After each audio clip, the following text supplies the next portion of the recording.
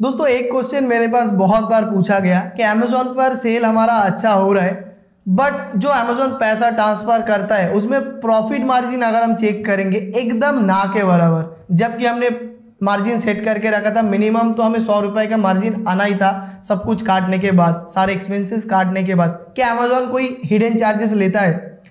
सो so guys देखो, आज की इस वीडियो पर मैं आपको ये पूरा एक्सप्लेन करूँगा बट आप एक बात यहाँ पे सोचो आपने प्रोडक्ट सेल करने से पहले प्रोडक्ट को लिस्ट करने से पहले कैलकुलेट किया था कि अगर मैं छः सौ में प्रोडक्ट को बेचूँगा, सब कुछ एक्सपेंसेस जो भी है मेरा टैक्सेस प्रोडक्ट की प्राइस पैकेजिंग और भी जो कमीशन है, सब कुछ मिला के अगर मैं 600 में बेचूँगा तो मुझे सौ रुपये का प्रॉफिट आ जाएगा।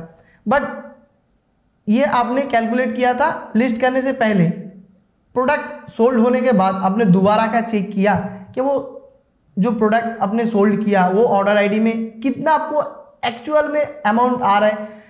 जो आपने सौ रुपये कैलकुलेट करके रखा था, वो पूरा सौ रुपये आपको हंड्रेड परसेंट आ रहा कि नहीं या उससे भी कम आ रहा है? तो इसी वजह से आपका जो प्रॉफिट मार्जिन है, आपको लगता है कि बहुत ही कम हो गया। और आपको लग रहा है कि अमेजोन हिडन चार्जेस ले रहा है। इस वीडियो में मैं आपको बहुत ही सिंपल एंड ईजी वो एक्सप्लेन करके दिखा दूँगा प्रैक्टिकली कहाँ कहाँ पे अमेजोन आपका चार्जेस काटता है, जिसकी वजह से आपको लग रहा है कि आपका प्रॉफिट कम हो गया या आप सही से इसको कैलकुलेट नहीं कर पा रहे। वो पूरा इस वीडियो में आपको क्लियर हो जाएगा।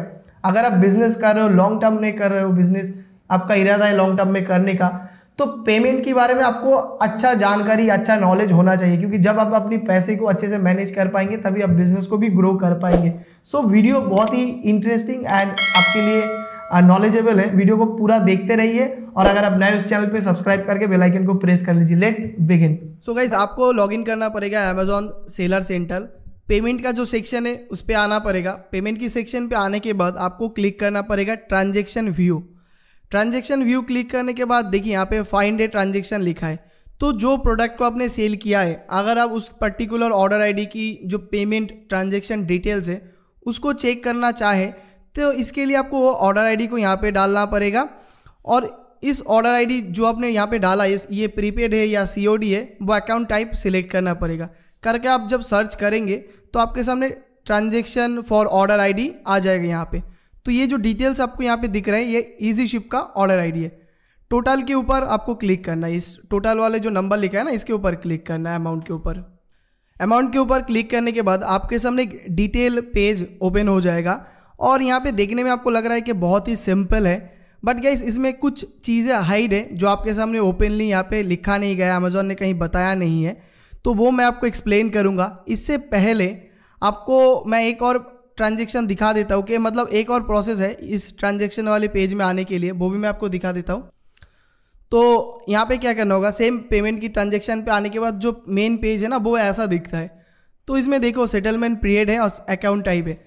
अमेजोन का जो पेमेंट साइकिल चलता है, वो सेवन डेज़ का। अगर आपने सेवन डेज़ के अंदर जितना भी ऑर्डर आई को मतलब चेक करना चाहेंगे, जो भी ऑर्डर को आपने सेल किया है वो अगर सीओडी है तो सीओडी को सिलेक्ट करके सेटलमेंट पीरियड आप सेट सिलेक्ट करके सर्च करेंगे तो कुछ ऐसा ट्रांजेक्शन का डिटेल्स आपके सामने ओपन होके आ जाएगा।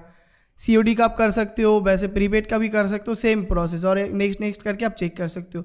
और यहाँ पे जो लास्ट में आप देख पा रहे हो ना टोटल के ऊपर अमाउंट लिखा है, इसमें अगर आप क्लिक करेंगे तो सेम वो डिटेल वाली पेज तो सेम वो डिटेल वाले जो ट्रांजेक्शन पेज है, उस पर आ जाएँगे।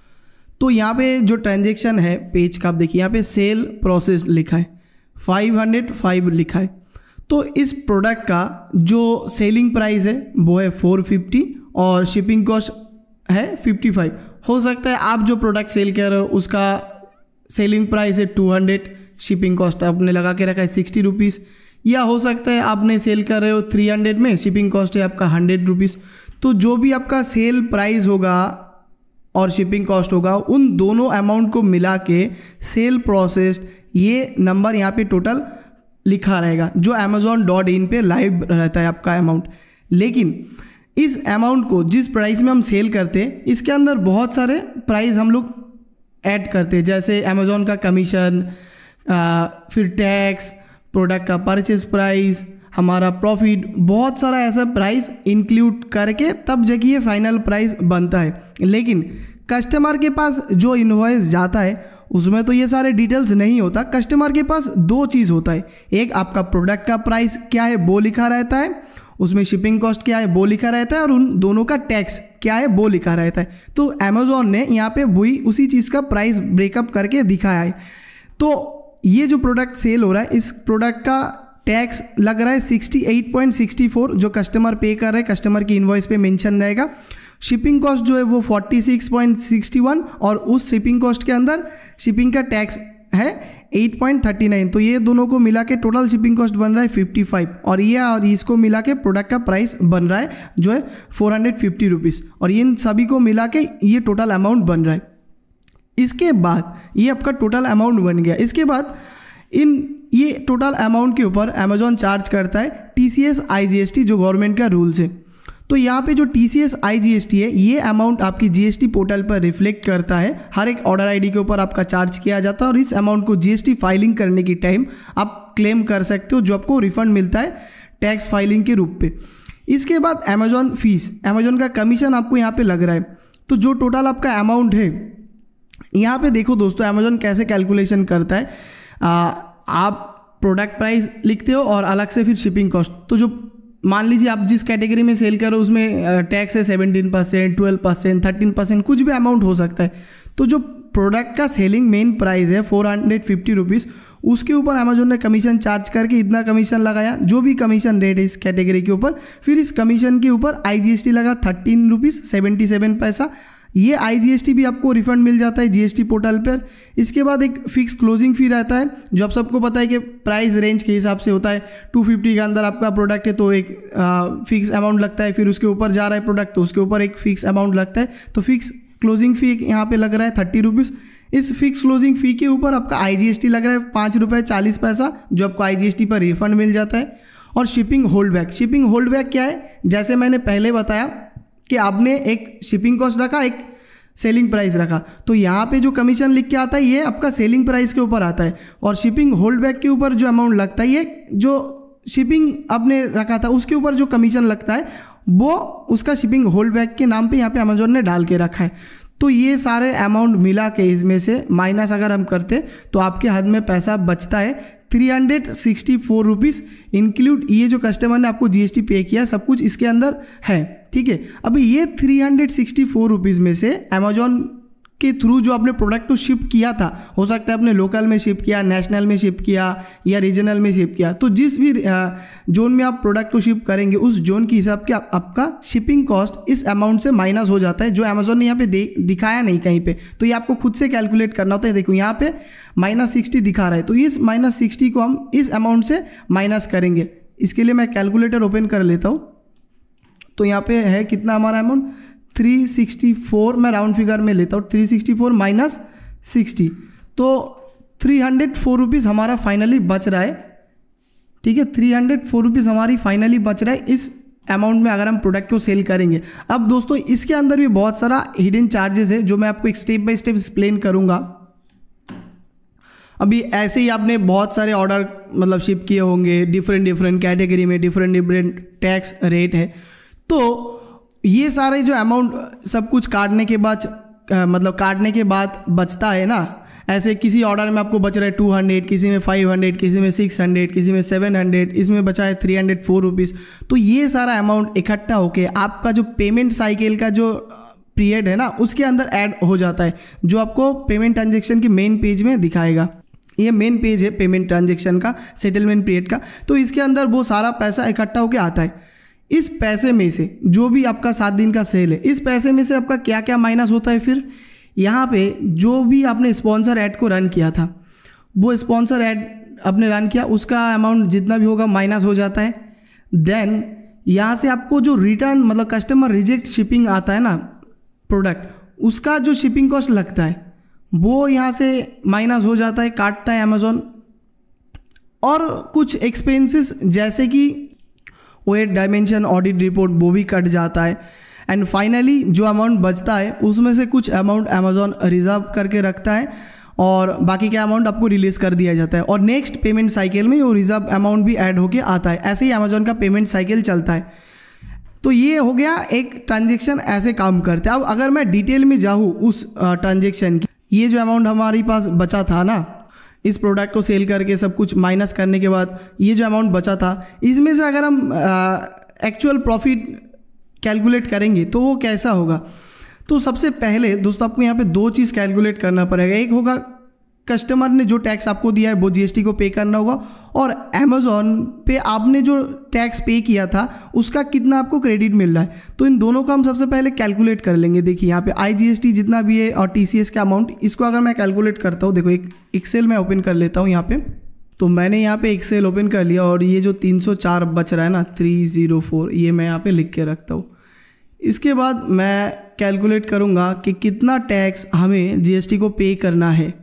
तो हमारी जो टैक्स पे बनता है जीएसटी को, वो sixty eight point sixty four sixty eight point sixty four मैं राउंड फिगर में लेता हूँ, ठीक है ना? एक बेसिक हिसाब के लिए सिक्सटी एट प्लस और यहाँ पे शिपिंग के ऊपर जो टैक्स है एट पॉइंट थर्टी नाइन तो यहाँ पे एट मैं ले लेता हूँ। तो सेवेंटी सिक्स हमारा टोटल टैक्स बन रहा है गवर्नमेंट को जीएसटी को पे करने के लिए। तो इसके लिए आप तो जो हमारा टैक्स का अमाउंट है, उसको भी मैं एक्सेल पे लिख लेता हूँ सेवेंटी सिक्स रुपीज़ यहाँ पर ये मैंने सेवेंटी सिक्स यहाँ पर लिख लिया। ये मैं इसको रेड कलर में कर लेता हूँ, क्योंकि ये हमारी माइनस होगा। ठीक है ना? ये टैक्स का अमाउंट है, ये मेरा मेन अमाउंट है, जो अमेज़ोन ने हमारी बैंक पे ट्रांसफ़र किया इसके अंदर ये सेवेंटी सिक्स भी है। ठीक है ना? इस अमाउंट के ऊपर। अब यहाँ, ये जो सारे अमाउंट है ना, इसको भी प्लस करेंगे हम। तो यहाँ पे हमारे जीएसटी क्या बन रहा है? Four plus thirteen plus five plus one. तो कितना बन गया यहाँ पे? Twenty three. ट्वेंटी थ्री को मैं यहाँ पे लिख लेता हूँ। तो ट्वेंटी थ्री जो ये अमाउंट है, इसको अमेज़ोन ने गवर्नमेंट के पास ऑलरेडी दे के रखा है, जब आपने अमेज़ोन को टैक्स पे किया था। तो ये हमारी यहाँ पे अमाउंट हो गया। इसके अलावा अगर आपने प्रोडक्ट जीएसटी दे के परचेस किया है तो वो भी अमाउंट गवर्नमेंट के पास मतलब जीएसटी पोर्टल पर ऑलरेडी होगा इनपुट के लिए। तो वो सारा अमाउंट मान लीजिए आपने ऐसा प्रोडक्ट सेल किया दो तीन हज़ार प्रोडक्ट सेल किया और आपका जो टैक्स बना वन लाख से डेढ़ लाख के आसपास आपका टैक्स बना है। तो ऐसे ऐसे करके आपने कैलकुलेट किया कि एक प्रोडक्ट का मेरा टैक्स हुआ है सेवेंटी सिक्स फिर और एक तो जब आपने फाइलिंग किया तो देखा आपने कि आपका जो क्रेडिट ऑलरेडी अवेलेबल है, वो है सेवेंटी से एट्टी थाउज़ेंड और बाकी का पैसा आपको एक्स्ट्रा देना पड़ेगा। तो जो बाकी का पैसा है, वो आपको एक्स्ट्रा देना पड़ेगा। वो मैं आपको एग्ज़ाम्पल यहाँ पे सिंपली करके दिखा देता हूँ। देखो ट्वेंटी थ्री अमेजोन ने पहले ही आपको दे के रखा है जीएसटी पोर्टल पर और 76 आपके पास है। तो अगर 23 में से मैं 76 को यहाँ पे माइनस करता हूँ तो जो पैसा बचेगा, वो आपको एक्स्ट्रा पे करना है।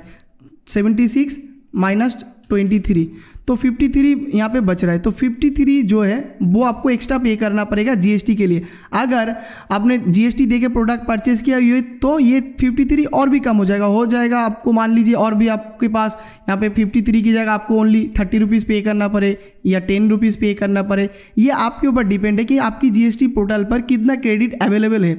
अगर आपने किसी से भी प्रोडक्ट लेने की टाइम पे जीएसटी पे नहीं किया और उसने आपका जीएसटी फाइलिंग नहीं किया तो आपको ये पूरा टैक्स का अमाउंट पे करना पड़ेगा। तो ये जो अमाउंट है, इसको माइनस करने के बाद हमारे पास जो एक्स्ट्रा अमाउंट बचता है, वही हमारा होता है मेन अमाउंट उसमें से भी हमें प्रोडक्ट का जो कॉस्ट है, वो माइनस करना पड़ेगा। पहले मैं आपको दिखा देता हूँ यहाँ पे। तो मान लेता हूँ कि मैं आपके पास कोई क्रेडिट पहले से अवेलेबल नहीं था जीएसटी पोर्टल पर। आपने विदाउट जीएसटी बिल परचेस किया था प्रोडक्ट को। बस अमेजोन का जो टैक्स है, वही आपके पास अवेलेबल था। तो ट्वेंटी थ्री में से फिफ्टी थ्री हमने अपने पे कर दिया। तो थ्री हंड्रेड फोर से मैं अगर फिफ्टी थ्री को माइनस करता हूँ three zero four minus fifty three three zero four से हम क्यों माइनस कर रहे हैं क्योंकि ये पैसा हमारे बैंक पे आया है। टैक्स के साथ पूरा पैसा बैंक पे आया जो कस्टमर ने पे किया था। समझ रहे हो ना?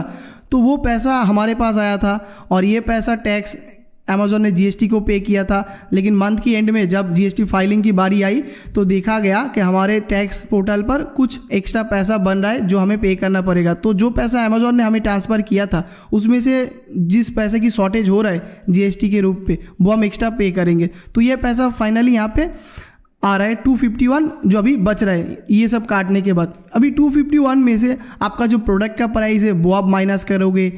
फिर अगर आपका पैकेजिंग एंड लेबर चार्ज है, उसको आप माइनस करोगे ट्रांसपोर्टेशन चार्ज है, उसको आप माइनस करोगे एंड देन उसके बाद जाके जो पैसा आपके पास बचेगा, वो होगा आपका एक्चुअल प्रॉफिट एक प्रोडक्ट के लिए। ये तो एक प्रोडक्ट के कैलकुलेशन मैंने दिखा दिया।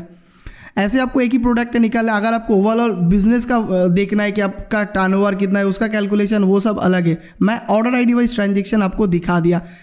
ये थोड़ा कॉम्प्लिकेटेड प्रोसेस है। अगर आपको प्रॉब्लम हो रहा है समझने में, मुझे भी जब मैंने भी सीखा था तो मुझे भी प्रॉब्लम हुआ था दोस्तों। एक बार में समझ में नहीं आता। देख के, बहुत बार समझ के, इससे उससे पूछ के सेलर सपोर्ट पे बात करके, तब जाके ये सारे बातें मेरे दिमाग में आया और क्लियर हुआ। थोड़ा टाइम लगेगा बट अगर आप बिज़नेस कर रहे हो तो इस सारी चीज़ों के ऊपर आपको ध्यान देना पड़ेगा, क्योंकि आपको पैसे की जो मैनेजमेंट है, अच्छे से करना पड़ेगा, नहीं तो आपका जो बिज़नेस है उतना ग्रोथ होगा नहीं। आपको समझ भी नहीं आएगा कि बिज़नेस ग्रो क्यों नहीं कर रहा सेल तो मैं कर रहा हूँ। तो ये ईजी शिप का दिखाया। मैं आपको फ्लेक्स का और एफबीए का भी दिखा देता हूँ कैसा दिखता है ट्रांजेक्शन पेज तो एफबीए की जो ट्रांजेक्शन है ना, वो कुछ ऐसा दिखता है। देखो, ये इजी शिप का, इसमें अलग से आपको शिपिंग कॉस्ट दिख रहा है और ये है एफ़ और फ्लेक्स का ऐसा दिखता है। तो इसमें क्या चीज़ नहीं है, क्या मिसिंग है, थोड़ा बहुत चीज़ चेंजेस है।